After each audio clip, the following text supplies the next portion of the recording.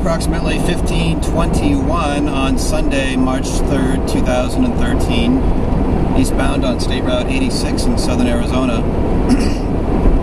this is an east-west highway over 40 miles north of the international border with Mexico that never intersects the border at any point.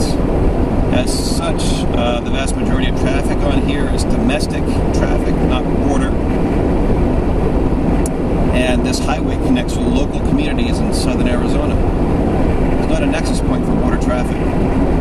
Nonetheless, that hasn't stopped the Department of Homeland Security from wasting scarce border security resources uh, by diverting uh, Border Patrol agents uh, from the border in its functional equivalent to instead harass and intimidate domestic traffic inside the country at suspicious checkpoints like the one that's been set up along this highway near mile marker 147. At this checkpoint that we'll be entering shortly, armed Border Patrol agents stop, seize, interrogate, interrogate, visually inspect, and attempt to coerce individuals into waiving their rights for extended detentions and uh, full-fledged uh, searches.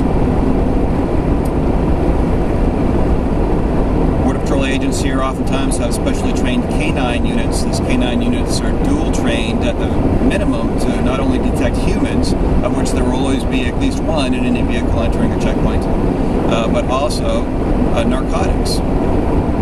These drug sniffing dogs are used at pre-primary, i.e. as vehicles are entering the checkpoint and still moving before coming to a complete stop. At primary and at secondary inspection stations, uh, most of the times, the, uh, in the vast majority of cases, absent any individualized suspicion whatsoever. The use of these drug sniffing dogs in this capacity makes it clear that the scope of the checkpoint far exceeds any sort of limited immigration mandate. In addition, the DEA, that's the Drug Enforcement Agent Agency, also plays a role here.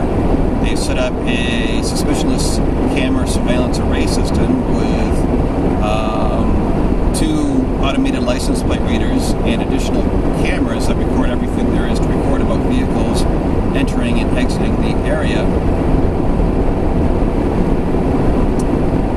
And they've set this up just on the outskirts of the Border Patrol checkpoint. Once again, uh, kind of accentuating the fact that uh, this checkpoint is used uh, for things other than immigration uh, purposes.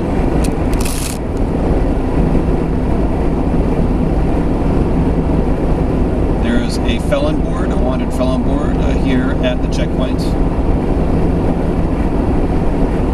with a couple dozen uh, photos of wanted felons, making you know once again uh, making it clear that the scope uh, of this checkpoint is not limited to immigration. Indeed, the Border Patrol has uh, freely admitted in public that uh, they utilize these internal checkpoints as a pretext uh, to look for all manner of criminal wrongdoing, such as felons, weapons, terrorists, narcotics, and occasionally, I guess, an illegal alien as well the use of these checkpoints in such a fashion uh, flies uh, directly in the face of various U.S. Supreme Court rulings that have said uh, that uh, permanent immigration checkpoints set up along nexus points for border traffic are okay as long as they're very limited in scope to brief immigration queries. And any further detention after the initial stop and questioning is premised upon either consent or probable cause. And of course, just because agents can ask uh, questions uh, here, since they are testimonial, testimonial nature, nobody has any obligation uh, to answer those questions. Homeland Security, Border Patrol pretty much ignored the limitations the U.S. Supreme Court placed upon the operations of internal immigration checkpoints and conduct them as general law enforcement checkpoints absent individualized suspicion in violation of uh, City of Indianapolis versus Edmond. So we have four agents to the south side of the road and another agent standing in the middle of the road.